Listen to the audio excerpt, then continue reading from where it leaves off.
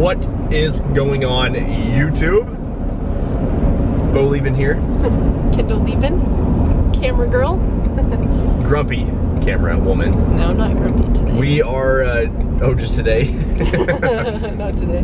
We're uh, driving to the lot right now, and the big thing is we broke ground on the apartments.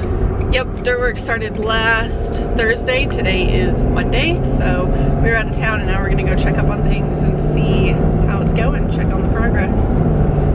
Yeah, they got it all. There's some trees on the lot. Uh, there's some concrete pieces, stuff like that. They scraped it all. And then today they should be getting ready, getting ready to prep the pads.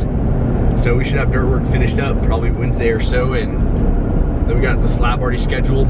Yep. Second week of May, and we're gonna move move forward on this project. Got all the lumber ordered, doors yep. and windows. So we're just waiting for all that to be delivered. Right now it's kind of crazy to get materials on time and stuff. So just waiting, but it's moving along, and we'll take you down there. Yeah. So we'll show you the, the lot and what's happening right now. What is up? We're out here at the lot. It's over here off of Hunsley Hills and US 60. So it's right off the highway. If you're driving down into Canyon and you look to the right, you exit towards Hereford, look to the right, you're gonna see our lot out here. Uh, right next to Cimarron Apartments. Um, so what you're gonna have out here is a two apartment buildings. You're gonna have one sitting right here and then another one further down there. And then here's your parking lot, of course, it's gonna run out there. Uh, it's a pretty tight fit on this parking lot, but we made it all fit perfect. So you'll have just enough spots. These are all gonna be two bedroom, two bathroom units.